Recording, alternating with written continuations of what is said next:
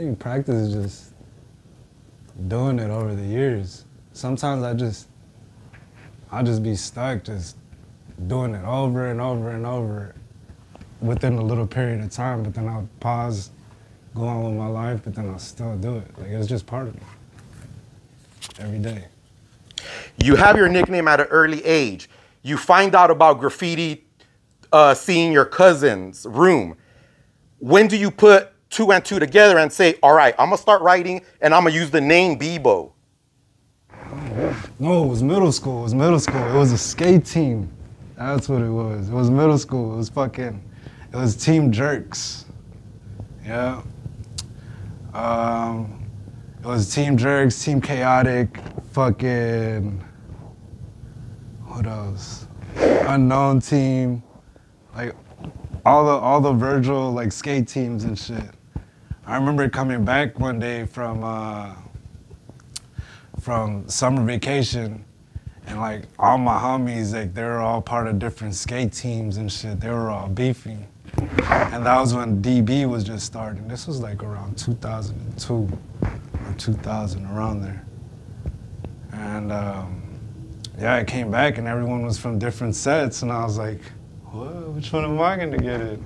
So I came up with that name. I was like, "Fuck I'm gonna write Bebo. Like, that's, that was my nickname for, as a kid, and I just, I would just tag it and shit. And I was like, fuck it, I'm gonna just put it in the streets. How did you choose which uh, skating crew to get in, to join? Uh, it was my homie, my homie Hansel. He was like, hey dog, why don't you rock with us? It was Team Jerks. Yeah, and I was like, fuck it. Like him, other homies, we just kicked it. Virgil Junior High. Growing up, I, I also went to Virgil, and it was uh, mostly gangsters and taggers. Uh, was the skateboard scene linked up with graffiti culture? How, how did how Not did those yet. two come together? Not yet. It wasn't even really graffiti. Like it was just like tagging. I want to be seen type shit. Like Why were there so many skating crews in Virgil at that time? uh, I don't know. It was just like a rocker thing.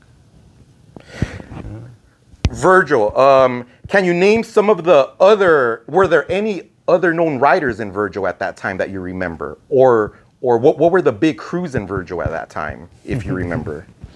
The big crews back then are fucking gangs now.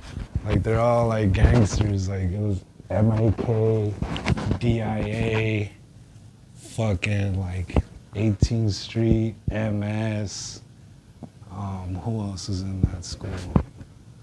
Like a lot of K Town and fucking like downtown. That around that area, all the hoods were pretty much in that school, and all the like yeah, it was all tag banging and gangster pretty much. Like if you were a tagger, you weren't really a tagger if you're banging back then. You're in Virgil. You're in middle school with your cousin. Is this when you take graffiti more seriously? Are you tagging in school? Are you sneaking out of school to go tag? Are you tagging before going to school? What's the situation like with trying to get up back in those days? It was all through skateboarding, bro. Like I would I would skate at spots and I, and I want to be here. Like I'm I'm, I'm a right, so people knew I was here. So that's how that's how it started. Like just tagging at every spot that we would skate at. And then we'd come out in music videos and they'll be like, oh shit, you seen that shit? And it just hyped us up. Hyped me up. when you I, I want to backtrack a little bit. When you come up with your name Bebo, was there any concern in your part that people wouldn't know how to pronounce it or how to say it? Yeah, but I didn't really give a fuck. I was like, fuck it. Like, I seen other names that are weird too, and I was like, man, fuck it. I'll just put my name too. Right, Bebo, very unusual name, but it rings bells now. You also do something very interesting.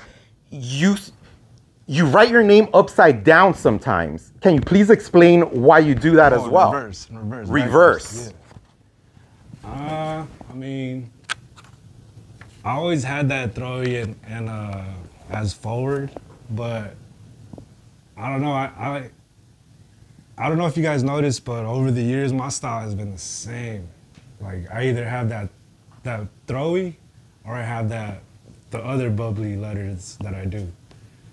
Um, and that's been my style for years since I even started. I just like improved it every year. I try to improve it every year, and like recently I was like, man, I'm gonna try to do this shit backwards, cause I'm left-handed, and like to go from left to right was kind of weird for me. So I was like, fuck it, I'm gonna try to do it from right to left so I could extend it a little bit, and I just I just started doing it and stuck with it.